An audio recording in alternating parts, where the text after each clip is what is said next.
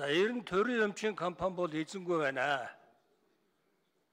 Эндээсээ болоод их хулгай явагдаж байна. Бид нар 92 оны онд шинэ үндсэн хуулиа батлаад зах зээлийн эдийн засгийн харилцаанд шилжсэн. 92-оос 96 онд социализмын 70 жилийн хугацаанд бий болсон олон үйлдвэр аж ахуйн газрыг хувьчилсан. Хувьцаат компани болгосон. Хувь нийлүүлсэн компани болгож хувьчилсан. За энэ хувьчлалаар бол алдсан юмч байгаа, онсон юмч байгаа. Тойл бол малын хувьчлал бол эзэн олсон. Малчид малаа аваад тухайн үед 20 сая байсан мал 80 сая хүртэл өсөөд өрдөнгө өгсөө. Үйлдвэр аж ахуйн газрыг хувьчлсан бол өрдөнгө өгөөгөө. Олон компаниуд тоонж дэрэмдсэн, тоногдсон. Тойл бол манай аймагт бол мянга гаруй ажилчинтай барилгын том трест байсан. Монгол улсын хэмжээнд бол барилга барьдаг материалын базда. За энэ одоо хувьчлагдаад ажилчид нь бол гудамжинд гарсан. Тэр бүх тоногдох хөрөн бол тоногдоод хятад төмөрд ачигтаад өнөөдөр барилга барьж чадахгүй байгаа. Энэ мэт жишээ бол манай улсад их байгаа. За 92 оноос өмнө бол бид нар аж үйлдвэр хөдөөж ахуйн орн байсан. А өнөөдөр бол бид нар 90 оноос хойш сүүлийн 36 30 жилийн хугацаанд бол бид нар аж үйлдвэрээ хөгжүүлж чадсангүй. Ер нь аж үйлдвэрийн салбарт бол өсөлт баг байхгүй. Тийм учраас энэ төрийн өмчийн компанийг нэмж байгуулахгүй гэсэн энэ өргөн байрсан тогтоолын төслийг бол дэмжиж байгаа. За хэдэн асуулт байна. Сая тогтоолын төсөл дээр бол ер нь дотоодын нийт бүтээгдэхүүний 54%-ийг төрийн өмчит компаниуд одоо бий болгож байна гэж. Тэгэхээр бид нар олон одоо төрийн эмчит компаниудыг хувьчилчаад хувьдаа шийдвэрлээд эргээд төрийн эмчтэр үндсэн дээр бид нар үйл ажиллагаа явуулж байгаа. Төрийн эмч бол эзэнгүй. Төр соёлогдвол удирдлагын соёлогдно. Тэгээ бүгд соёлогдоод тэгээ тоногдоод тоногдож байгаа. Өнөөдрийн энэ хөгжлийн банкд таван толгойн энэ компаниудын асуудал бол яг энэтэй холбоотой байгаа нүүрс нүүрс экспортлж байгаа олон компани байгаа. Хувийн компани бай, төрийн компани бай. Хувийн компаниуд төр өнөөдөр асуудал яригдахгүй.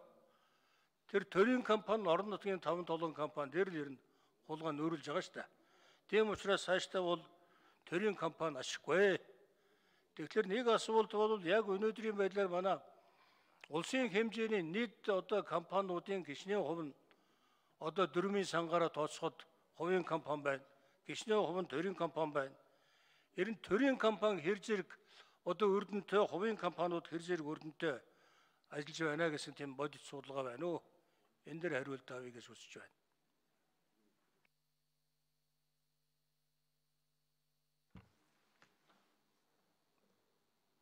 За домдны зөвхөн төрөг шиг асуулт хариулъя.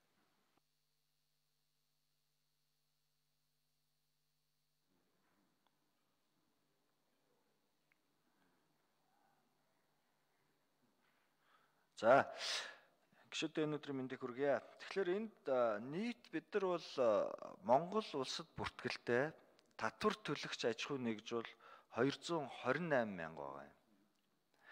А энэ төрийн компаниудын одоо яг наривчлсан ингээ тоог аваад үзэн гэхлээр энээс бол мэдээж хамаагүй баг. Гэхдээ яг гүйцэд одоо энэ нөгөө миний тэр дурдаад байгаа хөгжлийн сан, орон нутгийн төрөл бүрийн сан эн чинь бүгдээрээ тодорхой мөнгө санхүүтэй харьцаад эдийн засагт тодорхой худалдаа авалт хийх үү, тодорхой үйлчлэгээ үзүүлэх ингээ оролцоод яваад байгаа юм. За энийгээрээ ингээд аваад үзвэл яг эцсийн тоо баг. Мэдээж энэтэйгээ бол харьцуулшгүй цөөхөн байгаа.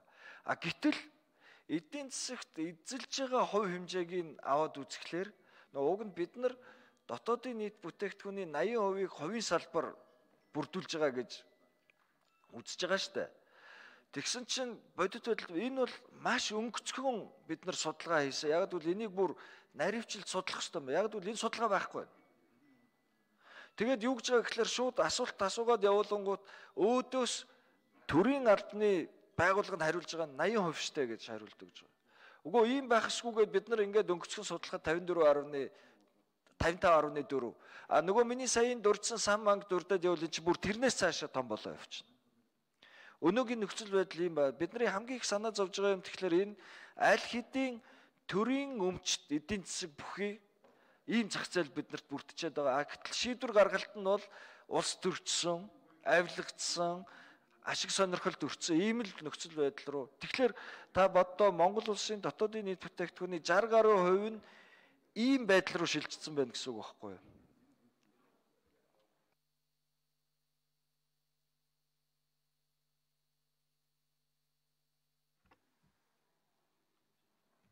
За нэм усрын учрал гэж шүү.